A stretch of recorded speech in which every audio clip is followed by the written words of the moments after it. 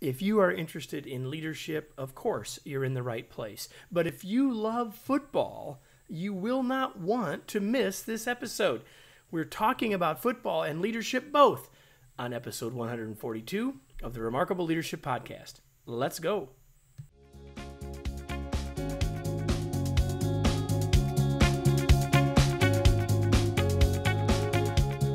Welcome to the Remarkable Leadership Podcast. We are here each week to talk about leadership, teamwork, organizational culture, and human potential with experts from every walk of life. Your host is Kevin Eikenberry, a best selling author and leadership thought leader for 25 years. This episode is sponsored by Kevin's book, The Long Distance Leader Rules for Remarkable Remote Leadership. Order your copy today at remarkablepodcast.com forward slash book. And now, here's your host, Kevin. Hey, everybody. Welcome to another episode of the Remarkable Leadership Podcast. Our guest today is Michael Lombardi. Let me tell you about Michael before we dive in. He, is, he was most recently on the coaching staff for Bill Belichick uh, for the New England Patriots front office. He's spent 30 years working for the San Francisco 49ers, the Oakland Raiders, the Cleveland Browns, where he was the general manager for two years. He writes for The Athletic and has a top 10 sports cast called GM Street on Bill Simmons' Ringer Podcast Network. So we got a we got a football expert with us today, but we also have a leadership expert with us today. Michael, welcome. Thank you. I appreciate that. I I uh, certainly appreciate the leadership part uh, more than just football. Thank you very much. Well, and we're going to talk about both. So for all of you listening who are saying, "Oh, I'm not a football fan," hang with us. I promise you, you're going to love this. But if you're a football fan, you're going to really love this. I have to. Uh, so first of all, welcome to the other side of the mic. You're usually the guy on my side of the mic. Yeah, I know. I appreciate that too. It's it's always good, and I I, I like this arena that you talk about because it you know people you know when I first started in the National Football League in '84. Uh, Bill Walsh would always say to me, you know, these people that say football is not a business are nuts and football is a business and you have to run it like a business which then led us down this path towards leadership and management and all that. So you know even if you're not a football fan football is a business and if you don't recognize it you're making a grave mistake. Yeah and we're gonna and we're gonna dive into all that in a second. I have to just say to anyone listening if you've just sort of joined us uh, so michael first of all you're not the first super bowl champion that we've had we had we had I, I interviewed uh, Gary Brackett. So if any of you want to listen to Gary Brackett, he was episode ninety seven. I interviewed Kelly yeah. Roach, who is a um, who is an entrepreneur, but she's also a former Eagles cheerleader. How about that? Wow. So, who knew, right? Who knew? Uh, that was episode 101. And uh, Sam Walker, who anyone who's listening that heard my interview with Sam Walker, who works for the Wall Street Journal, but wrote this great book about what makes great teams great, and it uses the sports piece um, I bet Michael, you'd love his book, um, "The Captain's Class." I gotta get it. I, I is the name of the book, "The Captain's Class." so yeah, I, am confident, Michael, that you would love uh, that book. So there's three people we've had on that have been sports and football related, but. Uh, so tell us a little bit about it. You said in the intro, I said who all of you sort of work for, but sort of how did you get? I mean, you have this last name of Lombardi, which people right football, but how did you sort of tell us a little bit about the journey from 1984 um, well, you know, the journey really started a long time ago. And I think there's a, uh, there's a line in my book. I said the world gets out of the way for people that know where they want to go. And, and I was fortunate and blessed to know where I wanted to go. And it's really comes back to uh, my last name, Vince Lombardi, the great coach of the Packers uh, you know, when I would see him on television, I thought somehow he had to be related to me. There's, he looks like everybody who would attend my Sunday dinners in the family. You know, he fit perfectly. We all had the same noses and we all had the same olive complexion. So, uh, you know, he was really a driving force for my interest and my love of football. And I just made a really um, decision that when I was working on the back of my uncle's garbage truck, I realized that I don't want to ever work. I want to enjoy work. I want to enjoy my life. And when you haul trash cans in a, in a beach town in the summertime, which can get rather smelly and and disgusting, you realize that you know there's work and then there's enjoyable work. And I wanted to be a part of it. I wanted to go somewhere where I never felt like I've worked a day in my life, and to this day I haven't. So, uh, and I knew football was going to be the, football was the place that I thought I could enjoy it. And I just set my path on it. And through the wisdom of Bruce Springsteen, that happened to write songs in the early 70s about, you know, born to run and cross Highway 9 and follow your dreams. I had a messenger. I had a, I had a voice that was telling me that it's possible because so often in life we get people that tell us you can't do something, you know, and Coach Raveling, the greatest, one of the greatest human beings I've ever met in my life. He's 81 years old. He was the head of basketball coach at the University of Iowa, Washington State, and USC you know, he he had three pitchers in his office when he was working for Nike, which he still does, mm-hmm. and he called them his mentors. And he's never met he never met any of those. And I think in life we do have mentors that we never meet. And for me, it was Lombardi and it was Springsteen telling you know the passion to go find something, and then Springsteen basically saying you can do it if you just put your mind to it. And that's how I started my my journey into the NFL. I was just determined to find a way to get in there. So I would attend coaching clinics throughout the Northeast. Uh, I tried to learn as much football as I possibly could, and I was fortunate enough to get an unpaid job at UNLV as an unpaid assistant and all the Burger King coupons I could eat. And uh, I stumbled into a, a job as a 49er scouting assistant in 1984, and that started the journey and there and, and you get to work with Bill Walsh. Yeah, so, yeah. Then I just stumbled. I mean, you know, it's like uh, you know, there is things in life that are uh, serendipitous, and certainly, you know, my first day on the job. I mean, there's this legend of a coach with this press shirts and white sneakers that were absolutely perfect, and you know, khaki pants, and you know, and if the picture wasn't hung properly on the wall, he was. I love running. that story in the book, by the way. Yeah, I mean, I still can't go buy a picture today without it's not hung on the wall properly. And so he was just in a, and, and then I, you know, I, I, learned so much from him, but I learned more about, I learned football, but I learned how to apply business to football, I think more than anything. And he set me on this path to Tom Peters, which then led me on to Warren Bennis and Peter Drucker and all those and speaking of Tom Peters, everyone who's listening, Tom Peters also been a guest here. So like we're going full circle. Speaking of going full circle, Tom Peters is my hero. I mean, I've never met Tom Peters. I've been fortunate enough to uh, to exchange emails and conversations on Twitter, but I've I've listened to so many of his seminars and his speeches. Like I, I, Tom Peters is truly a mentor of mine uh, because the book really was at the root of all things came from Coach Walsh asking me a simple question Do you know who Tom Peters is? And I thought it was a punter from South Dakota, you know, and I had no idea who Tom Peters You're was. Scanning your memory banks, thinking of the Tom Peters. Punter, yeah, like right? is this a trick question? You know, it's like, is he messing with my head here? You know, and so I'm like, okay, yeah, I do know who Tom Peters is. He's so obviously this is 1984. I can't go on Amazon or I can't Google him. I, I had to go down to find the nearest bookstore, which there wasn't even, I don't even think there was a Barnes and Noble at this time. I, I literally went to a bookstore in Palo Alto and asked the woman if she had any books on Tom Peters. And there was, you know, in search of excellence, in search of with Bob Waterman. And then I started reading that. And then, you know, upstairs in my, eh, eh, upstairs in our den, there's a zillion books that are really, my wife curses because I have too many books, but they're all because of Tom Peters. I blame Tom for everything. All right. Well, listen, I, I, I uh, have had, we had a great, Tom and I had a great conversation here. So we're talking about a, this book keeps showing up. And if you're watching, you can see it. But if you can't see it, I will tell you it is called Gridiron Genius, a master class in winning championships and building dynasties in the NFL. And it is a book about the NFL. But I was so glad, Michael, when we started chatting before I hit record that you said, "Hey, this is a this is a leadership book," and to which I heartily agree, and that's where we're going to spend most of our time. But I have to I, I have to geek out on football just a little because oh. both Bill Walsh and uh, Bill Belichick, you've worked closely with both at different stages in your career, and so and Bill and Belichick more than once, as it turns out. Um, so tell me about. Let, let's just talk about them as leaders and what would you say are the unique strengths of each of them? How, would you how would you sort of give us one or two of the greatest strengths of each, that each of them have as a leader? Well, I think they there's this thing I write about in the book called false duality, which means you know most of us in life think about problems and we either think the solution is A or B, and Walsh and Belichick are are against false dualities. They never look at a problem as if there's an A or B solution. They always find the C, D, E, and F and that's w- one of their greatest strengths. Both of them are able to do that. They can look at a problem and be creative in thought to solve the problem and also be divergent in thought to solve the problem. Two vastly different things. Most people confuse those two words, but they're vastly different.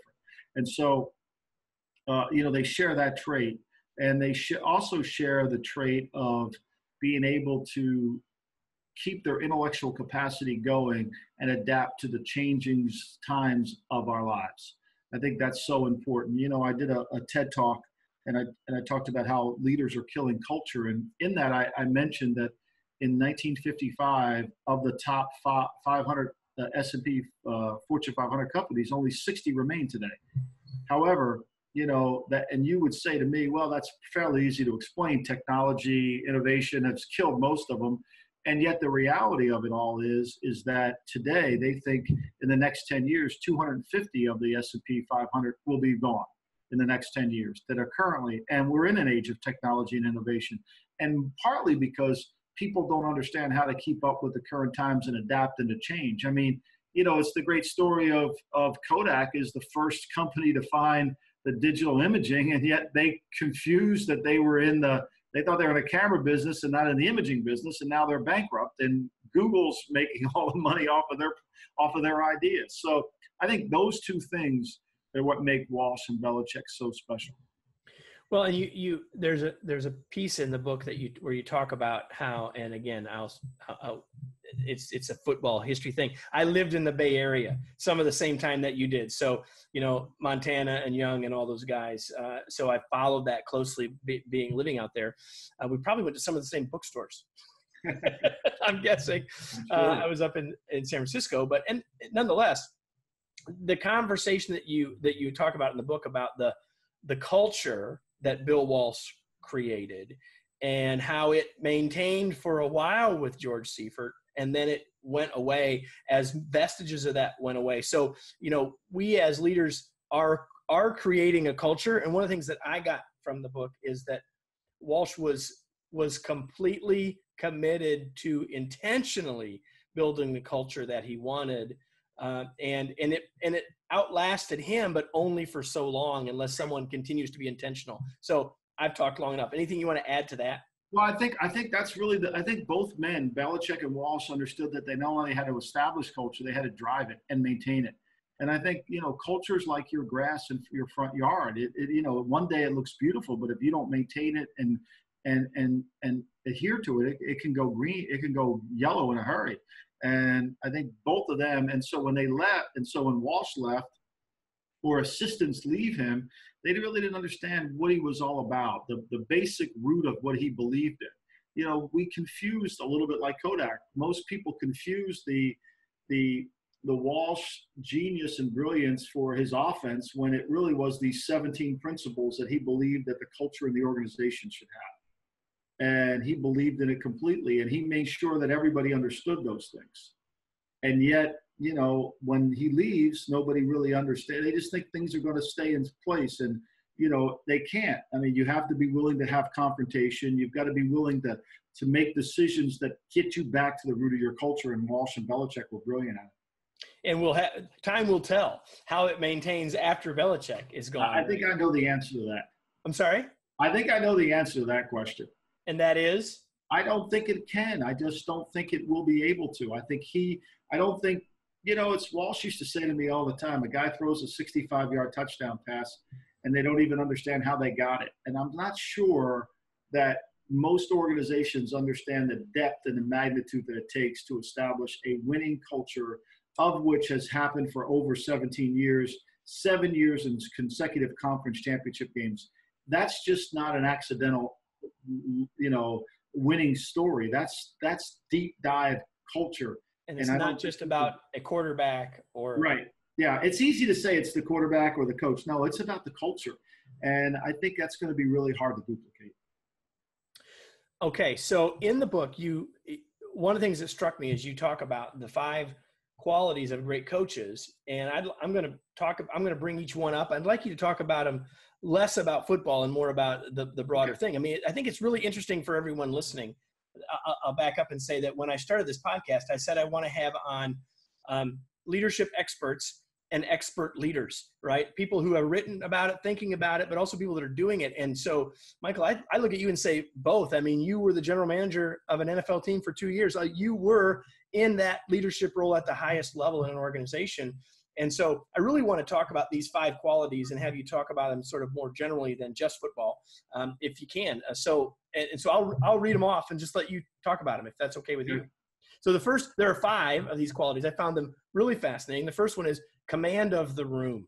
Right. You know, that's so important. I, I, you know, I think that it's easy. You know, all this stuff is simple. Einstein has five levels of intelligence that he believed in. And, you know, the, the, the least one was smart. You know, the, the, the fourth one was intelligent. The third one was brilliant. And the second one was genius. And the first one was simple. And, you know, these things that I talk about are really simple and we should all know them, but damn, they're not practiced all the time. So, a command of the room is you walk into a room and you have a message, you have a plan. And we've seen some really bad plans people follow in this country over over the world in the world and we've seen some really good plans that people can buy into and i think that uh, as a leader we sometimes just assume that the people following us know what the plan is. And unless you give them a specific, detailed plan on how we're going to achieve success, and it can't be the plan is to win a Super Bowl, or the plan is to make money, or the plan is to sell the company for $4 billion. No, that's not a plan, that's a goal. You know, and plans aren't mission statements. They're not mission statements. They're they're detailed. This is how we're going to behave on a single basis. This is how everybody in the organization should operate and work and explain it on a on a on a semi monthly basis to everybody so there's no misunderstanding of exactly the agenda that what we're setting ourselves to do. Perfect. So the second one they're all by the way everybody they're all commands. So command of the room and then command of the message. This is so important. So this is and we see this with all kind of leaders. There's a dynamic role in how to explain the plan. And it doesn't have to be you know, you don't have to be Knute Rockne. You don't have to be Lee Iacocca, who can speak brilliantly, or Barack Obama, who's tremendous in front of a, a camera. You have to have your own authentic way of explaining the plan and using metaphors to understand where we're going and let people visualize it. And I talk about, you know, Dr. King, when he stood up on the podium in Washington, D.C. on that hot August day, uh, he was the 16th of 16 speakers that day. He was not the keynote address speaker. And he was only allowed to talk for five minutes. That was the agreement that all the speakers were signed to. And he started his speech, and, and around the five minute mark, Mahalia Jackson in the background screams to him, Tell him about the dream, Dr. King. And then, doc, and then Martin, Dr. King goes into the I Have a Dream section of, the spe- of his speech that he gave in Detroit two weeks earlier. And when he was done 11 minutes later, he went over by 11 minutes. Everybody understood what he was talking about through his words. They could visualize the meaning of what he was trying to say. Now, we all don't have Dr. King's oratory skills, but we do have the ability to communicate and have help people visualize what we're trying to get them to do. That's a powerful tool. The plan, the command of the room is great, but command of the message have to go together and you've got to work as hard on that as you possibly can. And it can be subliminal. When you walk into the New England Patriots offices, Belichick has four things that he reminds the players of every single day. None of them have anything to do with winning. None of them have anything to do with winning. Not that it's all about what he wants to put in your head constantly. And I think that's part of command of the message. And how you do it has to be your own way. It can't be, I'm going to steal this idea from somebody else, or I'm, no, it's got to be authentic. Perfect. You're heading toward the third command, which is command of self.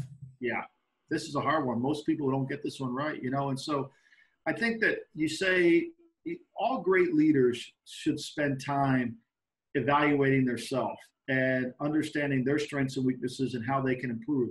Henry Kissinger said when he went to Washington, he said, you know, when you come to Washington, you borrow the intellectual power you bring and you can't renew it once you're there. And being a leader is sometimes it's hard on your intellectual power. It's hard to renew it. But you should carve out an hour a day to renew your intellectual capacity. You should carve out an hour a day to strengthen your toolkit on leadership and be self critical of what you need to work on.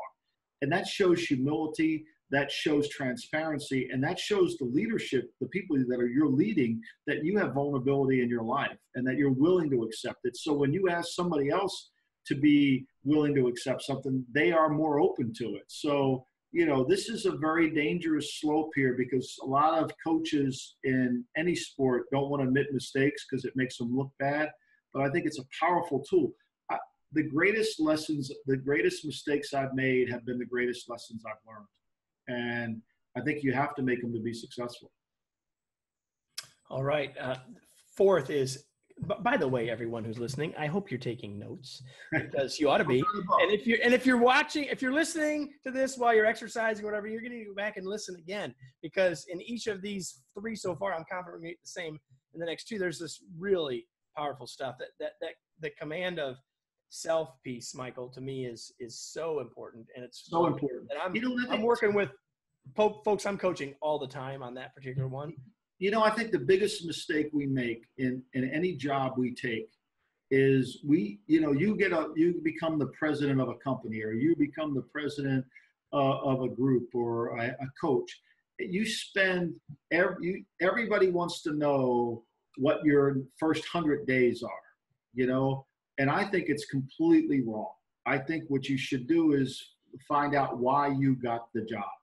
There's a reason you're there. And if you don't do an autopsy of that, you're never going to be able to advance.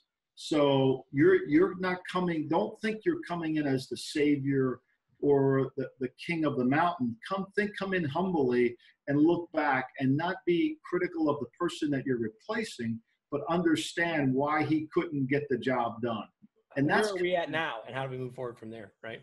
What's which that? relates to your next one which is the command command of the opportunity. Right. Yeah you you have to be able to understand what the you know where why you're in the job and why you're there. And you humbly have to understand it. And it isn't because the guy messed up or you know he was lazy or whatever. It might end up being that way but everybody's so looking for what's the next 100 days or the first 30 days or you know i have a, a document in my computer called first things first. What would you do first? And first thing i would do is is find out from every member of an organization why they think it failed. You know why why we're in this mess that we're in. You know why we've been losing. Why haven't we been able to do this? Let let everybody tell you now, I'm not saying because look, I'm against committee meetings because they've never dedicated a monument to a committee, but I think that's part of gathering information, and that's really the command of the opportunity. And last, you're just talking about a process of of listening, going on a listening tour is what I call that, Michael. Um, right. Command of the process. Last one.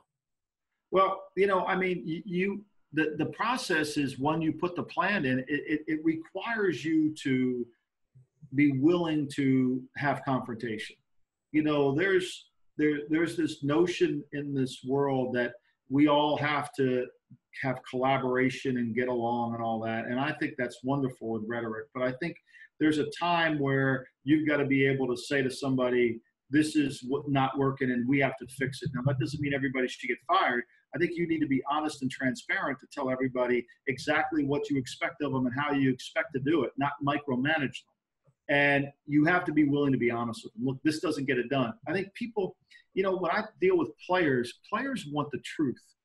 Employees want the truth.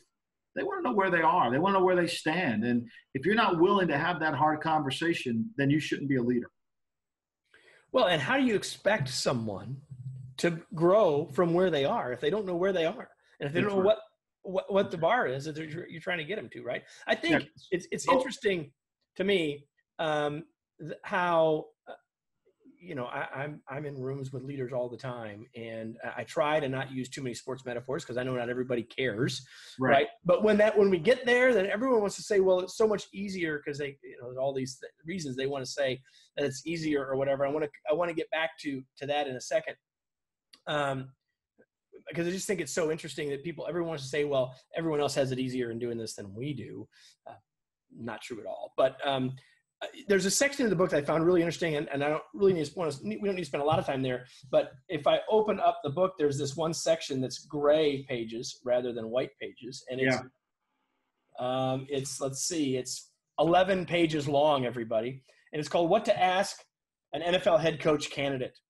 And I was struck what I was struck by, well, first of all, as a an interested party in football, a bunch of questions raised. Like I didn't even realize that the coach could have impact on those things. But um, I was struck by the level of detail and the level of specificity in it.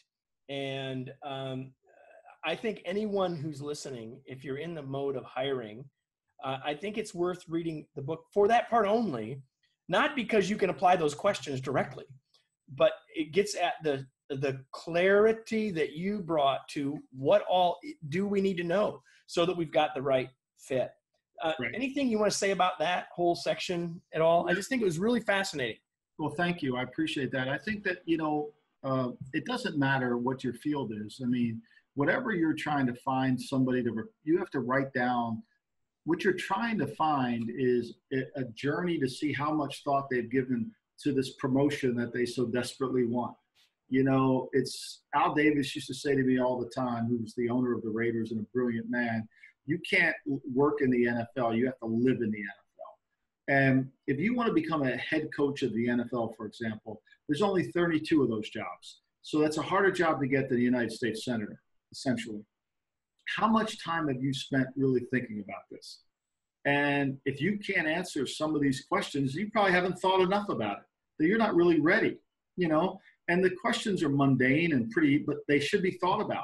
Everything should be buttoned up. And I think in any job, if you want to get promoted, how much time have you spent thinking about what you really want to become? And I'm not saying you should let your job, your ambitions get in the way of doing your job. Not at all. But there's always a, an hour a day of growth. And there's always an hour a day of self improvement. And in that self improvement within your hour, are you working on the things that you know you're going to need to have in your toolkit when you go to the next level? Okay, everybody, just to give you an example of the specificity. So it's really not, about, in some cases, what I'm hearing you say is it's not about the answers, it's about that there is an answer and there's a thought process that's right. That's, that's so, really right. I, I don't one. expect anybody to ace the test, but I want to know their thought process behind the test. And if they say to me, you know, I've really never thought about that, then I think that you haven't thought about this job enough. You haven't thought about, and so if I give you this job, I mean, are you going to be are you going to be willing to keep thinking, or are you just telling me what I want to hear to get the job? That's a, that's always a problem. So here's the one that struck me. Just one of many to make the exact point, Michael. Okay, so future head coach, who's the person responsible for assigning jersey numbers?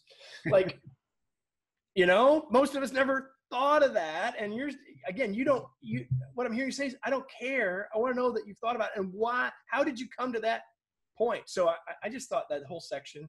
Well, I think okay, so that's a really that that's a that's a great example. So it, the answer should be well look uh, say you're you're a 49 you grew up you the bay area let's just take the 49ers yep so who's going to assign jersey numbers okay so are we going to give out 16 are we going to give out 80 are we going to give out 87 are we going to give out you know 42 these are great players numbers from there. So the, I, the answer that i would want back it, it would be you know i want to respect the history of the organization. I want to control those numbers because i want players to understand the value behind every number. And I'm going to give that number for a reason because it brings the legacy of our franchise together. It brings the history of our organization together. That's the symbolicism of the numbers. Absolutely. Like there's only one Ronnie Lott, so you better be really. If I give you 42, you have to understand who wore 42 and you got to walk in 42 shoes a little bit. I'm just not going to hand you 42. 42 is a special number. 42 means a lot to this organization. 42 means a lot to me. And so I, I, have got to be able to do that. Perfect. Hey, I got I got a question for you uh, that I think. Well, hold on. I got two dogs. One second. That's all right. We're gonna just. I'm, I know you'll edit this. He's gonna he's gonna take care of that, and, and while he's gone, I'm just gonna tell you everybody this is the book we're talking about. talking about the book, The Gridiron Genius, Michael Lombardi. Uh, Bill Belichick wrote the foreword for this book. If you are a football fan, this is a book that you want to read. If you know a football fan, this is a book that they need to read. And quite honestly, um, as I hope you're getting from this conversation, that the reality is that this isn't really a football book. It's the first thing that Michael said to me before we turned on the recording was, "This isn't really a football book," and I'm glad you get that, Kevin. Um, so here's a, here's a question that I, I want to ask you, Michael. So there are a lot of people who are football fans, who are watching or listening. And my question would be this: um, What is something that the casual fan would be surprised about in, in terms of leadership in the locker room? Well, you know, I think it's a dynamic because you know you're you're talking to a lot of players that perhaps make more money in the locker room than than you make. So you've got to manage you've got to manage their own ambition, and you've got to manage their uh, where they want to go. I, I, you know, you have to accept that too, and then you have to also understand that the players that you're talking to, and this applies to any businesses, they're millennials. And so, do you understand how to deal with a millennial today? Do you understand what their culture is really about? If you want to constantly look at people that you're leading through the eyes of uh, of your eyes, you, you're going to make a lot of mistakes. You're going to not be able to hit the right chords and command the message properly. You've got to be able to really understand that. And so that locker room is a is a is part business, it's part fun, it's an area that I would never go into as a general manager because I thought it was a sacred area for the players. You know, they don't want somebody who's controlling their salary to come down into their sacred area, just like I don't expect them to come up to my office. So, but I also have to understand where they came from and what they're about and what their agendas are and accept them. Cool. I, am guessing if you were the general manager and you won the Super Bowl, you'd go in the locker room. Oh, I definitely would do that. Yeah. On that day, right? Yeah. Uh, so while you've got those rings, you didn't have one as a GM. I don't know, no disrespect there by by any means, of course. So um, a couple of uh, final things before we go. I'm curious. You know, a lot of people hear um, how all-encompassing the work is in the NFL. I know you're not in the NFL now, uh, but certainly you are a busy guy. You've got a lot going on, and um, and I'm just curious, what is it something that you do personally for fun? Oh, well, you know, I mean, it's, you know, uh, like I said in the beginning of this, I, I've worked my whole life. It's been fun. I mean, I, I just, you know, I think this whole, this whole business that I've been in has been nothing but fun for me. I mean, I've had some really heartbreaking losses and lost jobs and, you know, but at the end of the day, it's been a lot of fun. I think the most fun I have now as a grandparent. You know, my wife and I can enjoy kids at, at, at an age where we're young enough to really enjoy them and, uh, kind of uh, spend time with them and learn, you know, because you're so busy doing your job, you, sometimes the growth of your own children falls behind. And I think that's probably the greatest time. Coach Rav, who again is is my hero, told me this uh, a couple years ago. He said the best time of his life was when he turned 60, and now he's 81. Those last 20 years have been the most fulfilling, and I think that's really the objective. I have to say, about Coach Raveling. As a Purdue Boilermaker, there were days I didn't necessarily love him when he was at Iowa. But that's a whole. Uh, see, I'm I'm a Katy guy. Have, you I should just, have Coach Rav on this podcast because I don't know if there's a smarter person in my life that I've ever been around. I mean, I've obviously been around Belichick and Walsh and Al Davis, but I think Coach Rav's wisdom and his humility is something that uh, I, I try to utilize every single day. And his he always ends the conversation with me, "What can I do to help you?" and I just find it fascinating. You know, he's and he means it sincerely. And he's not about it's not the phony. I'm going to send you a thank you letter. I mean, certainly you get that, but there's a genuineness to what he believes. That's awesome. So uh, the only question in this whole conversation that I prepped you for is this one. And that's what's something you are reading now or that you would recommend people ought to read? And I know you're prepared for this because you said, oh, Kevin, this is easy. So oh, this one's easy. Yeah. You know, I've always believed in the five book theory where you should, what were the five books you would always re- take with you if you were stuck on a desert island? You know, where would you go? And, uh, you know, I'm obsessed with Robert Caro. He's, I'm waiting for his final volume of the LBJ books. Caro's almost been another, um, hero of mine because I mean, here's a man who's written five books in his life. He's in his he's in his mid 80s. Uh, his first book was on Robert Moses called The Power Brokers, and then he's done four volumes on LBJ. And he writes every day in the Fisk Building in Manhattan. Has no one help him. He does it by hand, and then he does it by typewriter. I mean, he's truly a dedicated, remarkable man who's uh, whose discipline I admire greatly. So I think that, and then you know, I got to know David Maraniss from because I was working one day in the in my office in Oakland and I got a phone call from this guy and he said I'm writing this book on Lombardi and I wanted to know your relationship with him and I said well I'm not related and he's we became friends from that and uh, he wrote that book called When Pride Still Mattered, which I think is one of the greatest books. But his best book for me is is about Bill Clinton and the Clinton presidency and the making of the president. I think that's my finest book. All right. Well, thank you for that. So now the question you wanted me to ask: Where can people find out more about this great book, Gridiron well, Genius? Well, thank you so much. I appreciate it. It's you know it's on any of you, hopefully all bookstores, your local book re- retailer in town, and then certainly on all your online book line providers, Amazon, Barnes and Noble, you know, anywhere you can find the book. And I think that, you know, for me, the, the most satisfaction that I could have in, in this is is someone like you who's read it and you're a field of leadership, it impacts you. So that's really what this this book's about. I find more satisfaction when I get a email from a, a women's basketball coach that read the book and, and likes the book than I would from somebody in the NFL who read it. Well, they already got it figured out. They're not listening to you anyway. that's right? so true. Um, sorry. Well, I'm, that's not a comment about them. That's a comment about human nature, right? So that's it, so true. You know, I, I say to my wife all the time. You know, it's weird. I've gotten, you know, a lot of a lot of interest from other teams and other leagues, but very few from NFL. It's kind of I. It's probably if they're reading it, they've taken the jacket off. I don't think they want anybody to know they're reading it. well, that's and you don't care. You don't, don't care. care point, right? All right. So, um, hey, everybody, before we go, now that I have a question for all of you listening and watching, and that is uh, now what? What are you going to do uh, besides buying a copy of Gridiron Genius? The real question is what can you take from the last 35 minutes of this conversation that you can apply in your work as a leader? Because if you don't do that, this might have been interesting. Um, even if you go buy the book and read it and you're a football fan, it's going to be interesting. You're going to have a hard time putting it down. But my real challenge to you isn't just the interesting stuff and the anecdotes of which there are, but it's the lessons that you can take as a leader to make your work as a leader more effective. Because that's at the end of the day why Michael wrote the book. And that's definitely at the end of the day why we have this podcast is so that you can become the leader you were born to be. That's why we're here every single week with another episode. I hope you'll come back for another episode of the Remarkable Leadership Podcast.